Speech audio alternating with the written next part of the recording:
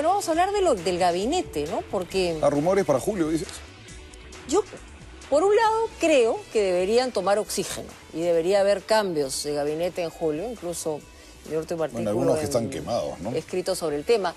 Pero ¿a quiénes se vocea? ¿Cuáles son las especulaciones que hay? ¿Tú qué has escuchado? Tuve un dato respecto al Ministerio de Economía porque aparentemente eh, Luis Miguel eh, Castilla había determinado desde el principio quedarse dos años. Bueno, tiene una condición personal, ¿no? Él ¿no? explicó que él enviudó, es padre y madre a la vez de dos lindas niñas y que No, eso no las ve, ¿no? lo agobia mucho Claro, personalmente, ¿no? Porque tiene muy poco tiempo para Y estar luego con también ellas. ha estado en el mejor momento económico, ¿no? Y eh, para él, desde su perspectiva, sería un gran momento para irse. Pero a quienes, o se especula, o se vocea, que, eh, por ejemplo, Luis Oganes, del JP Morgan, podría ser el reemplazante de Castilla. Es muy amigo de Humala. Según me dicen, parece que coincidieron en el colegio japonés, la Unión, y que tiene mucha cercanía a él. Él es un hombre que ha estado en bancos de inversión y le caería muy bien por el tema de Repsol, ¿no?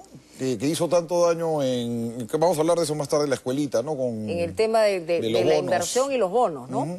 Bueno, él aparentemente va a reconstituir una, eh, la confianza respecto al tema eh, internacional, el sobre tema todo. de porque- Repsol y algunas cosas, ¿no? No, y además él es jefe de investigación en el JP Morgan, o sea, Sí. tiene en, el, en, en términos internacionales podría tener muy buenos Ahora, contactos. no descartes, se habló mucho de Milton Bongese, También. que es el ministro de Agricultura y que también da el perfil porque ha estado en, en el MEF durante mucho tiempo y ahora está en el gabinete.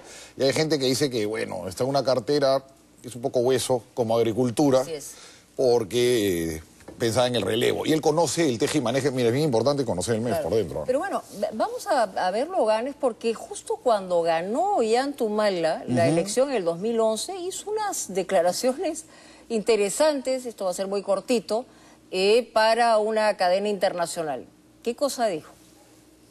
¿Ven ustedes a Perú eh, más cerca a, lo que es el presidente Chávez o lo que era el presidente Lula Silva en Brasil? Eh, si es que se aplica el último plan anunciado eh, en el último mes, claramente sería, por lo menos las señales de muchísimo más pragmatismo, de una, disposición a, conciliar y a, y a- debatir y a discutir y a llegar a acuerdos, con lo cual yo lo vería más en la línea pragmática ah, de Lula que eh, la aplicada en- en- en Venezuela. Vamos a ver, Oganes tiene mucho contacto, sí sé, con, con Humala, que muchas veces le, eso sí se, se ha conocido, que tiene, le consulta varias cosas. Eh, ahora, también hablan de otros en el gabinete. Eh, me llegó a mí el rumor que, bueno, por casualidad, una persona que están buscando el reemplazo de Trivelli. Sí, porque ella parece que está un poco... Quiere regresar a la academia, al Ya Instituto de Estudios Peruanos. Y por esas casualidades de la vida, una persona, han, han estado buscando un reemplazo. Ahora, eso me imagino que a la primera dama no le va a caer muy bien, porque una de sus ministras Es más una de sus cercanas, puntales, ¿no? ¿no? Uno de sus puntales. Y hablando de ministras, también se ha hablado que a Alfonso García Mirol le ofrecieron, que es el presidente de Confiep, reemplazar a Tribeño, a Gladys Tribeño en Produce. Bueno, y que ahora él lo rechazó.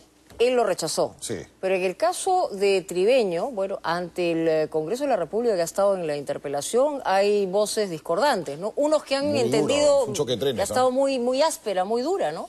Muy confrontacional. Tiene un choque de trenes bien serio con el gremio, con la Sociedad Nacional de Pesquería, ¿no? Hay un divorcio, un aquarium ahí. Pero ahí también entiendo que hay un gran respaldo de parte de de la, Nadine, de sí. la primera dama, ¿no? ¿no? No lo sé, pero el rumor era ese que fueron donde García Miró que se lo ofrecieron. Ahora hay otros, hay otros que se menciona como Pedraza, que se- pobre está más quemado pues que llanta de, Bueno, más adelante vamos a tener justamente que llanta una... de manifestación. Se habla también de Silvia Martinot. que El calvario de en Pedraza, Comercio ¿no? exterior.